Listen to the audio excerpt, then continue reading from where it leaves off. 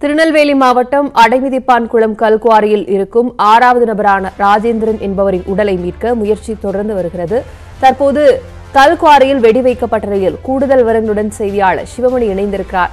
சிவமணி நீங்கள் தொடரலாம். இப்போ வரைக்கும் நடவடிக்கை எந்த அளவுக்கு இருக்கு? குறிப்பா பெரிய போராட்டமா இருக்கு. இன்னும் ஒரு உடலை மீட்க வேண்டும் அப்படிங்கிறது உரங்கள் என்ன?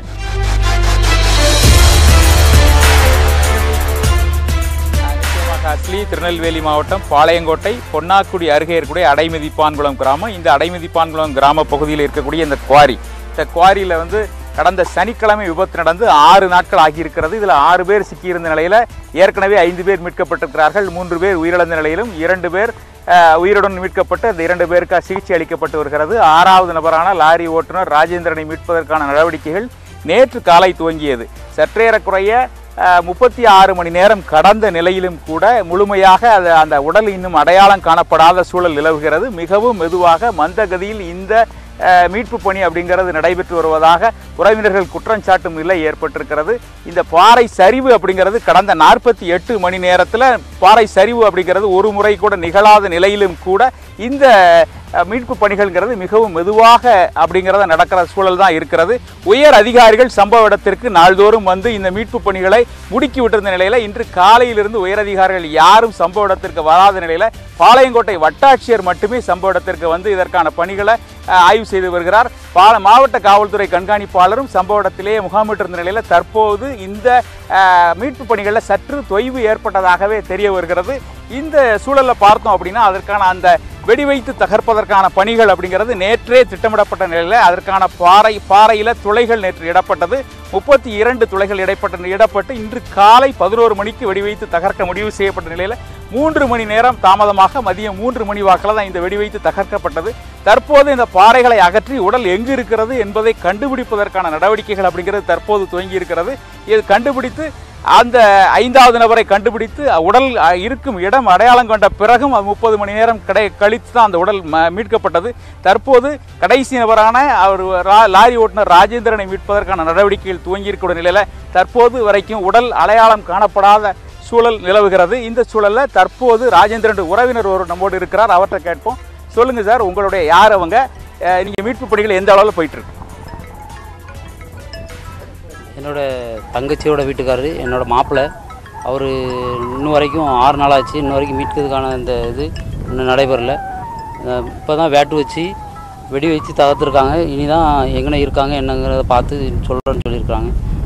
ம பனி வந்து ரொம்ப ஸ்லோவாக தான் பண்ணிக்கிட்டு இருக்காங்க நேற்று நைட்டில் இருந்து நேற்று சாயந்தரம் மதியத்துக்கு மேலே இருந்து இன்னும் வரைக்கும் அந்த பணி நடந்துட்டுருக்கு. வேட்டு வைக்க வேட்டு வைக்கன்ட்டு இன்னும் வரைக்கும் வச்சு இப்போ தான் முடிச்சு இப்போ தான் உள்ளே போய் பார்த்துட்ருக்காங்க பணி பனி ரொம்ப ஸ்லோவாக நடக்குது உயிர்னா அவ்வளோ இதாகிடுச்சு. உயிர் போயிட்டா இருக்கா என்னங்கிறது கூட அவங்க ரொம்ப ஸ்லோவாக தான் பண்ணிகிட்டு இருக்காங்க. ஆறு நாள் ஆகுது இன்னும் வரைக்கும் மெல்ல தான் நடந்துட்டு இருக்கு இந்த பணி வந்து. நிச்சயமாக பணிகள் மெதுவாக நடந்து வருவதாக உறவினர்கள் குற்றம் சாட்டக்கூடிய நிலையில் இந்த பணிகள்ங்கிறது தற்போது நடைபெற்று இருக்கிறது உடலம் உடலை அடையாளம் காணக்கூடிய பணிகள்ங்கிறது மீண்டுமாக துவங்கி இருக்கிறது அஸ்லி இப்ப அடைமிதிப்பான் கல்குவாரியில் உடலை மீட்பதற்கான பணிகள் தொடர்ந்து ஆறாவது நாளாக நீடித்துக் கொண்டிருக்கிறது. விவரங்களுடன் மண்டல செய்தியாளர் சிவமணி இணைந்தார். விவரங்களுக்கு நன்றி சிவமணி. விசா முறைகேடு வழக்கில் கார்த்தி சிதம்பரத்தை நோட்டீஸ் வழங்காமல் முன்னறிவிப்பின்றி கைது செய்ய மாட்டோம் என டெல்லி நீதிமன்றத்தில் சிபிஐ உறுதியளித்திருக்கிறது. பஞ்சாபில் உள்ள தனியார் நிறுவனத்திற்கு சொந்தமான மின் நிலையத்தில் பணியாற்ற இருநூற்றுக்கும் மேற்பட்ட சீனர்களுக்கு ஐம்பது லட்சம் ரூபாய் லட்சம் பெற்றுக்கொண்டு சட்டவிரோதமாக விசா பெற்றுத் தந்ததாக காங்கிரஸ் எம்பி கார்த்திக் சிதம்பரம் மீது சிபிஐ வழக்கு பதிந்தது. இவ்வழக்கில் கார்த்தி சிதம்பரத்தின் ஆடிட்டர் பாஸ்கர ராமன் ஏற்கனவே கைது செய்யப்பட்டுள்ளார். இந்நிலையில் இவ்வழக்கில் முன்ஜாமீன் கோரி கார்த்தி சிதம்பரம் டெல்லி சிபிஐ நீதிமன்றத்தில் மனு தாக்கல் செய்திருந்தார். அவ்வழக்கு நீதிபதி எம் கே நாக்பால் தலைமையில் விசாரணைக்கு வந்தபோது கார்த்தி சிதம்பரத்தை கைது செய்வதாக இருந்தால் மூன்று நாட்களுக்கு முன்னர் முறையாக நோட்டீஸ் வழங்க வேண்டும் என உத்தரவிட்டார். கார்த்தி சிதம்பரம் மே இருபத்தி நான்காம் தேதி இந்தியா திரும்ப உள்ள நிலையில் மனுதாரர் சட்ட ரீதியான நிவாரணம் பெறுவதற்கு இந்த அவகாசம் வழங்க வேண்டும் என வலியுறுத்தினார். இதை ஏற்றுக்கொண்ட சிபிஐ அதிகாரிகள் நோட்டீஸ் வழங்காமல் கார்த்தி சிதம்பரத்தை கைது செய்ய மாட்டோம் என்று உறுதியளித்தனர்.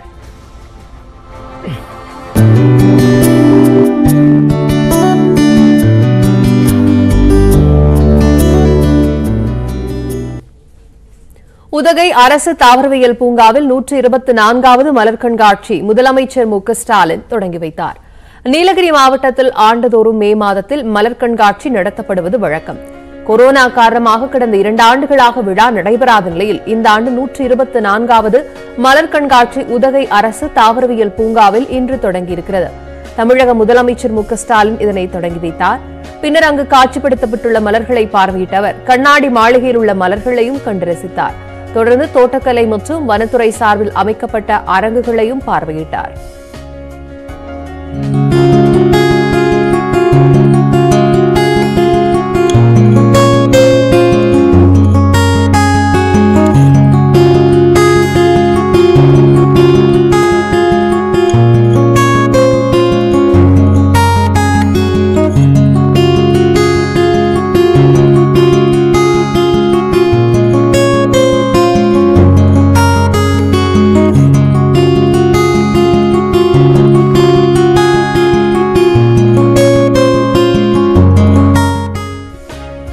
இதைத் தொடர்ந்து சுற்றுலாத்துறை சார்பில் அமைக்கப்பட்ட மேடையில் நடந்த கலை நிகழ்ச்சிகளை முதலமைச்சர் மு ஸ்டாலின் தனது மனைவியோடு சேர்ந்து கண்டரசித்தார்.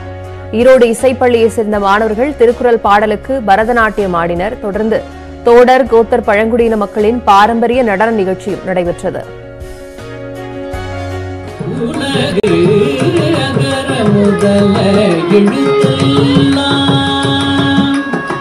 ஆதி பகவன்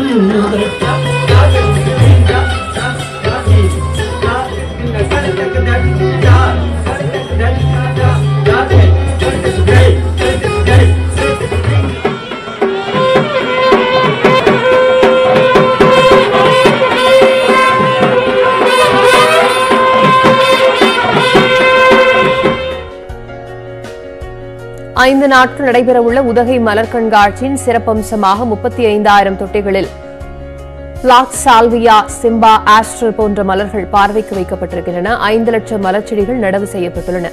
மேலும் பழங்குடியின மக்களின் வாழ்க்கையை பிரதிபலிக்கும் வகையில் ஆறு பழங்குடியின மக்களின் உருவங்கள் கொய் மலர்களால் வடிவமைக்கப்பட்டிருக்கிறது. உதகை உருவாகி இருநூறு ஆண்டுகள் ஆவதை ஒட்டி ஊட்டி டூ ஹண்ட்ரட் என்று மலர்களால் எழுதப்பட்டது. இந்த மலர் கண்காட்சிக்கு சிறப்பான ஏற்பாடு செய்யப்பட்டுள்ளதாக சுற்றுலா பயணிகளும் தெரிவித்துள்ளனர். நிறைய ஃப்ளவர்ஸ் நிறைய வெரைட்டியான ஃப்ளவர்ஸ் எல்லாம் இருக்குது எல்லாமே சூப்பராக இருக்குது அப்புறம் தமிழ்நாடு அந்த அக்ரிகல்ச்சர் யூனிவர்சிட்டிலேருந்து நிறையா ஸ்ட்ரக்சர் எல்லாமே பண்ணியிருக்காங்க. அப்புறம் அந்த பழங்குடியினர் அந்த இது எல்லாமே சூப்பராக இருந்துச்சு. வித்தியாச வித்தியாசமான ஃப்ளவர்ஸ் எல்லாம் இருக்குது. குழந்தைங்கலாம் நல்லா தெரிஞ்சுக்கிற அளவுக்கு பேரும் நேம் போட்டு வச்சுருக்காங்க. ரொம்ப பிடிச்சிருக்குது. வெளிநாட்டோட பூக்கள் பார்த்தா நம்ம நேம் எனக்கு வரல. ஆனால் பூக்கள் ரொம்ப அருமையாக ஒரு ஒரு பூ பார்த்தா நான் பட்டர்ஃப்ளை லெவலில் பார்த்தோம் சார். ரோஸாவில் வந்து ஒரு ஏழு எட்டு கலர் பார்த்தோம். டிஃப்ரெண்ட் டிஃப்ரெண்ட்டாக ஒரு ஃப்ளவர்ஸ்லாம். நல்லா இருந்துச்சு. விழுப்புரம் மாவட்டம் விக்கிரவாண்டி பகுதியில் சுடுகாட்டிற்கு தனியிடம் ஒதுக்க கோரி பட்டியலின மக்கள் மூன்று தினங்களாக இறந்தவரின் உடலை எடுக்காமல் போராட்டத்தில் ஈடுபட்டனர். விக்கிரவாண்டி அருகே கொட்டியாம்பூண்டி கிராமத்தில் பத்திற்கும் மேற்பட்ட பட்டியலின குடும்பங்கள் வசித்து வருகிறது. அந்த கிராமத்தில் அவர்களுக்கு இன்று நிலையான சுடுகாடு இல்லாததால் இறந்தவரின் உடலை ஏரிக்கரை ஓடை குளம் போன்ற இடங்களில் அடக்கம் செய்து வந்தனர். இதனால் சுடுகாட்டிற்கு தனியிடம் இடம் ஒதுக்கித் தரக் அதிகாரிகளிடம் பலமுறை மனு அளித்துள்ளனர். இந்நிலையில் கடந்த பதினெட்டாம் தேதி சத்யநாராயணன் என்பவரின் மனைவி அமுதா உயிரிழந்தார். இதையடுத்து பத்தொன்பதாம் தேதி விழுப்புரம் கோட்டாட்சியர் தலைமையில் ஒரு இடத்தை தேர்வு செய்து அமுதாவின் உடலை அடக்கம் செய்வதற்கான பணிகள் மேற்கொள்ளப்பட்டன. ஆனால் கொட்டியாமுண்டி கிராமத்தில் உள்ள மாற்று சமூகத்தினர் அதை தடுத்து நிறுத்தியதாக குற்றச்சாட்டு எழுந்தது. இதை கண்டித்து உடலை எடுக்காமல் பட்டேநில மக்கள் மூன்றாவது நாளாக இன்றும் போராட்டத்தில் ஈடுபட்டனர்.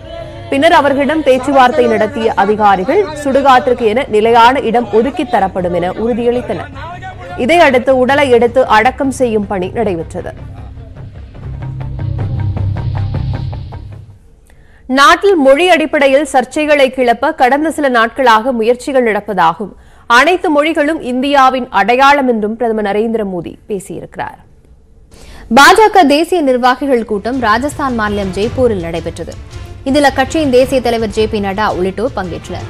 கூட்டத்தில் காணொலி வாயிலாக உரையாற்றிய பிரதமர் மோடி இந்த மாதத்துடன் பாஜக கூட்டணி ஆட்சிக்கு வந்து எட்டு ஆண்டுகள் நிறைவடையவிருப்பதை சுட்டிக்காட்டினாா் இந்த காலகட்டம் ஏழைகளின் நலன் சமமான வளர்ச்சி சமூக நீதி மற்றும் பாதுகாப்பிற்காக அர்ப்பணிக்கப்பட்டிருப்பதாக கூறினார்.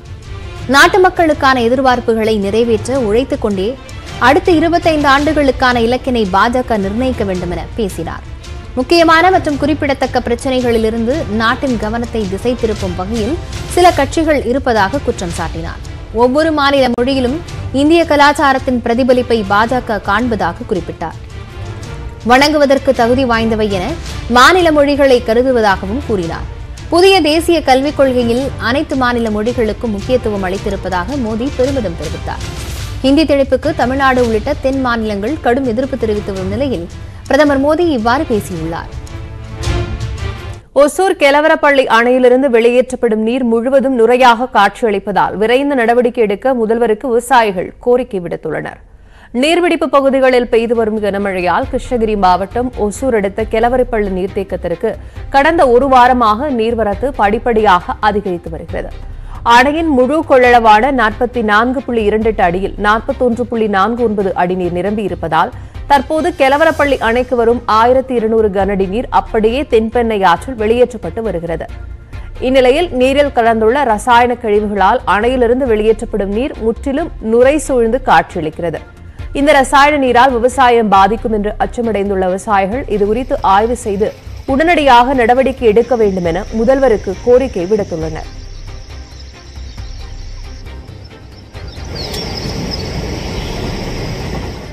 முன்னாள் அமைச்சர் எஸ் பி வேலுமணி மீதான டெண்டர் முறைகேடு வழக்கின் விசாரணைக்கு தடை விதிக்க உச்சநீதிமன்றம் மறுப்பு தெரிவித்திருக்கிறது. எஸ்பி வேலுமணி அமைச்சராக இருந்தபோது பல்வேறு பணிகளுக்கு டெண்டர் வழங்கியதில் முறைகேட்டில் ஈடுபட்டதாக சென்னை உயர்நீதிமன்றத்தில் வழக்கு தொடரப்பட்டது. அதை எதிர்த்து எஸ்பி வேலுமணி உச்சநீதிமன்றத்தில் மேல்முறையீட்டு மனுவை தாக்கல் செய்தார். அதில் தனக்கு எதிரான வழக்கை ரத்து செய்ய கோரியும் லஞ்ச ஒழிப்புத்துறையின் ஆரம்பகட்ட விசாரணையின் அறிக்கையை வழங்க உத்தரவிடுமாறும் கூறியிருந்தார். மனுவை விசாரித்த தலைமை நீதிபதி என் வி ரமணா தலைமையிலான அமர்வு தீர்ப்பினை வெளியிட்டுள்ளது.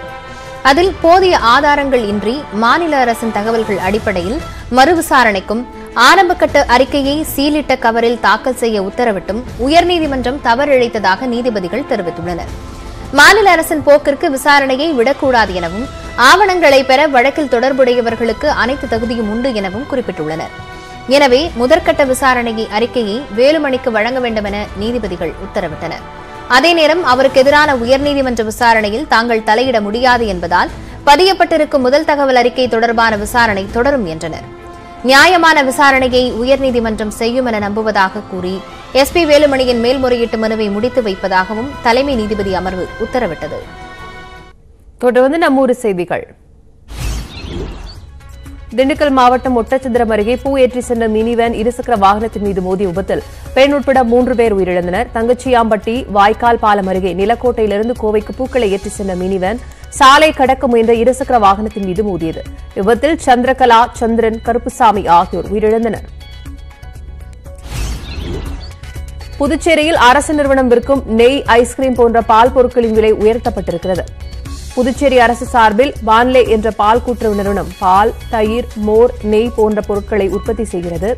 நிறுவனத்தின் நெய் லிட்டர் அறுநூறு ரூபாய்க்கு விற்கப்பட்ட நிலையில் அறுநூற்று இருபது ரூபாயாக உயர்த்தப்பட்டிருக்கிறது. பத்து ரூபாய்க்கு விற்பனையான தயிர் பனிரெண்டு ரூபாயாகும். நாற்பது ரூபாய்க்கு விற்ற நூறு கிராம் பன்னீர் ஐம்பது ரூபாயாகவும் விலை உயர்த்தப்பட்டுள்ளது.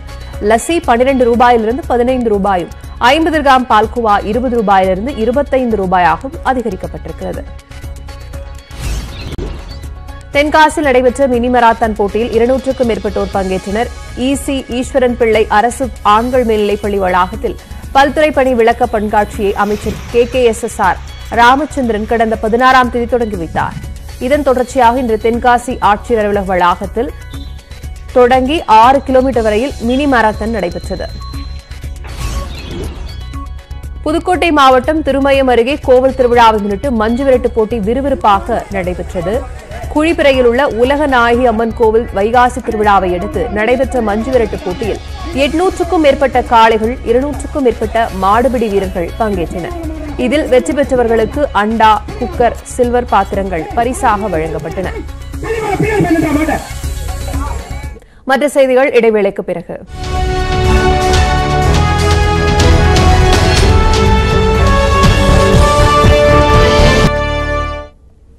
சென்னை வளசரவாக்கத்தில் சொத்து தகராறில் தந்தையை கொன்ற மகன் அவரது உடலை துண்டு துண்டாக வெட்டி ராணிப்பேட்டை மாவட்டம் காவிரிப்பாக்கத்தில் புதைத்த கொடூரம் நிகழ்ந்திருக்கிறது. சென்னை வளசரவாக்கத்தில் வசித்து வந்த எழுபத்தெட்டு வயது முதியவர் குமரேசனுக்கு மூன்று மகள்களும் குணசேகரன் என்ற மகனும் உள்ளனர். மூத்த மகள் காஞ்சனாவின் கணவர் இறந்துவிட்டதால் அவர் குமரேசனோடு வசித்து வந்துள்ளார். இந்நிலையில் வீடு பூட்டியிருப்பதாகவும் குமரேசனை காணவில்லை எனவும் காஞ்சனா போலீசில் புகார் அளித்துள்ளார். போலீசார் வந்து வீட்டை திறந்து பார்த்தபோது ரத்தக்கரை இருந்திருக்கிறது. சகோதரியோடு சேர்ந்து முதலில் தந்தையை தேடிய குணசேகரன் திடீரென தலைமறைவாக அவரது மனைவியிடம் போலீசார் விசாரித்துள்ளனர். அப்போது கடந்த பதினெட்டாம் தேதி தனது கணவர் காவிரிப்பாக்கம் சென்று அங்கு வெங்கடேசன் என்பவரை சந்தித்ததாக கூறியிருக்கிறார். தொடர்ந்து காவிரிப்பாக்கம் போலீசார் உதவியோடு வெங்கடேசன் மற்றும் பெருமாளை பிடித்து விசாரணை மேற்கொண்டதில் குணசேகரன் ஒரு ட்ரம்மை கொண்டு வந்து புதைத்ததாக கூறியுள்ளார். வெங்கடேசனின் நிலத்தை வாங்குவதாக கூறிய குணசேகரன் தனக்கு வைக்கப்பட்ட செய்வினையை மந்திரவாதி மூலம் எடுத்து ட்ரம்மில் வைத்திருப்பதாகவும் அதனை புதிய இடத்தில் புதைக்க வேண்டும் என்றும் கூறியிருக்கிறார். அதற்கு வெங்கடேசன் சம்மதம் தெரிவிக்கவே பெருமாள் மூலம் பள்ளம் தோண்டி ட்ரம்மை புதைத்துள்ளனர். காஞ்சனா வீட்டில் இல்லாதபோது அங்கு சென்ற குணசேகரன் குமரேசனை கொலை செய்து உடலை துண்டு துண்டாக வெட்டி ட்ரம்மில் அடைத்து ராணிப்பேட்டை அனுப்பிவிட்டு சகோதரியோடு சேர்ந்து தேடுவது போல நாடகமாடியிருப்பதாக கூறப்படுகிறது.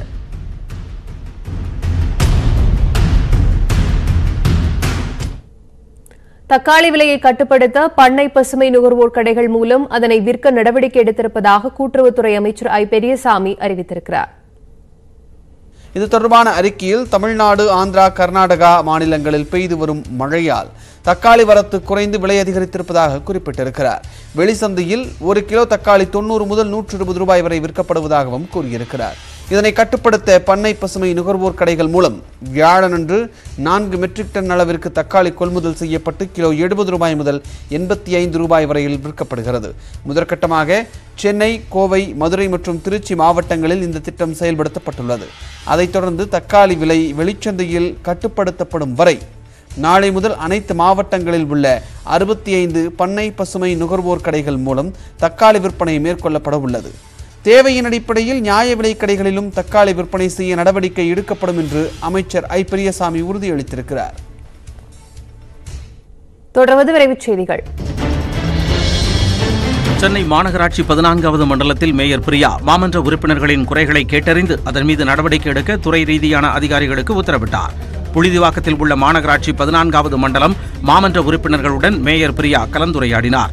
இந்த கூட்டத்தில் துணை மேயர் மகேஷ்குமார் சட்டமன்ற உறுப்பினர் அரவிந்த் ரமேஷ் ஆகியோர் பங்கேற்றனர். பெருங்குடி சுற்றுவட்டார பகுதிகளில் கால்வாய்கள் தூர்வாரப்படாமல் இருப்பதால் மழைக்காலங்களில் குடியிருப்பு பகுதிகளை மழைநீர் சூழ்வதாக மாமன்ற உறுப்பினர்கள் கோரிக்கை வைத்தனர்.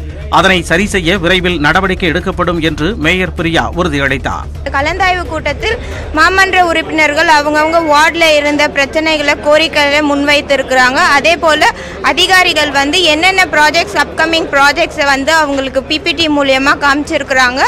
இதை பற்றின கலந்தாய்வு கூட்டம் இன்று நடைபெற்றது. புதுக்கோட்டை மாவட்டம் கீரனூர் அருகே ஆண்டியப்ப ஐயனார் கோவில் திருத்தேரோட்டம் வெகு விமரிசையாக நடைபெற்றது. கொப்பம்பட்டியில் உள்ள ஆண்டியப்பன் ஐயனார் கோவிலில் வைகாசி திருவிழா கடந்த பனிரெண்டாம் தேதி காப்பு கட்டுதலுடன் தொடங்கியது. இதன் முக்கிய நிகழ்வான திருத்தேரோட்டம் இன்று நடைபெற்றது. எழுபது ஆண்டுகளுக்கு பிறகு நடைபெற்ற இந்த விழாவிற்காக அப்பகுதி மக்கள் பெங்களூருவிலிருந்து தனியார் ஹெலிகாப்டர் ஒன்றை வாடகைக்கு எடுத்து தேர் மீது மலர் தூவ செய்தனர்.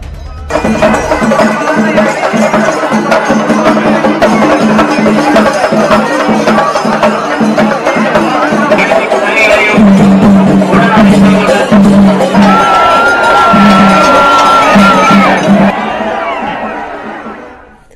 அண்மை செய்திகளுக்கு இணைந்திருங்கள். இது நியூஸ் எயிட்டீன் தமிழ்நாடு.